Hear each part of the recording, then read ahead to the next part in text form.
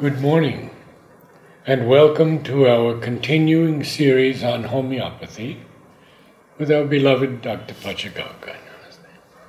A couple of things that I've thought about. One is that um, children get a lot of cavities, generally, often due to sugar. But is it true that after the age of 50 or 60, one rarely gets cavities? Not necessarily. Cavities are common right from the age of uh, one year Hmm, till old age. I see. But with old age, the, the people get what they, the, the teeth start becoming brittle.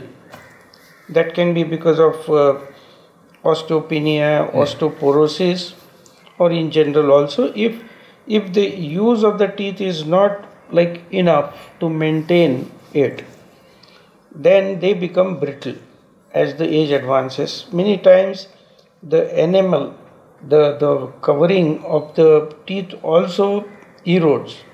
It just dissolves mm-hmm. and the teeth, the body of the teeth gets exposed.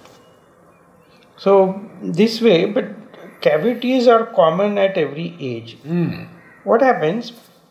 Children or even in grown-up people, if they, they, they eat chocolates, and chocolates somehow um, uh, as a binder they have something which is gelatinous and sticky.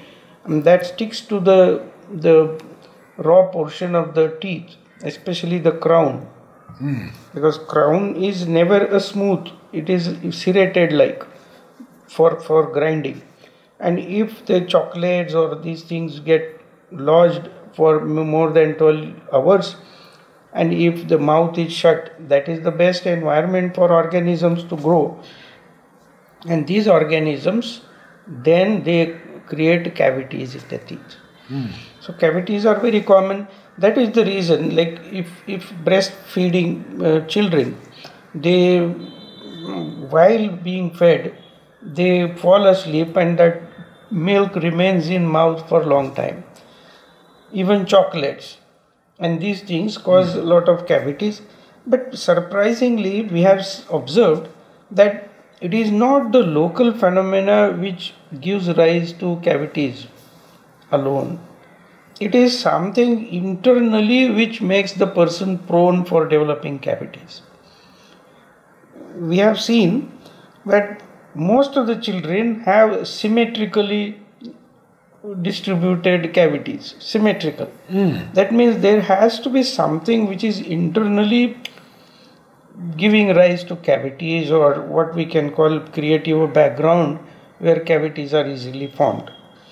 In homeopathy we have certain remedies. Our task is very simple. We don't want to work out why it is happening. We have a remedies which are proved that these are the characters of those remedies and formation of cavities and we have like calcarea phos calcarea fluor in creosotum these are the remedies which help in preventing and not only preventing even treating cavities Wonderful.